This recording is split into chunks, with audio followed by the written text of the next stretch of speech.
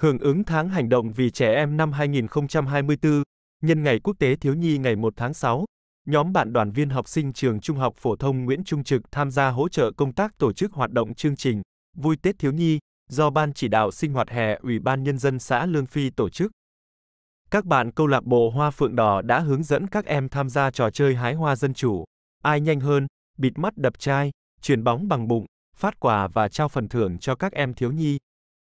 Hoạt động đã thu hút, tập hợp đông đảo thiếu nhi tham gia các hoạt động, góp phần tạo sân chơi bổ ích, an toàn, lành mạnh, vui tươi phấn khởi, tạo điều kiện cho các em gặp gỡ, giao lưu nhân ngày quốc tế thiếu nhi 01, 6 để động viên, khích lệ các em tích cực thi đua học tập tốt.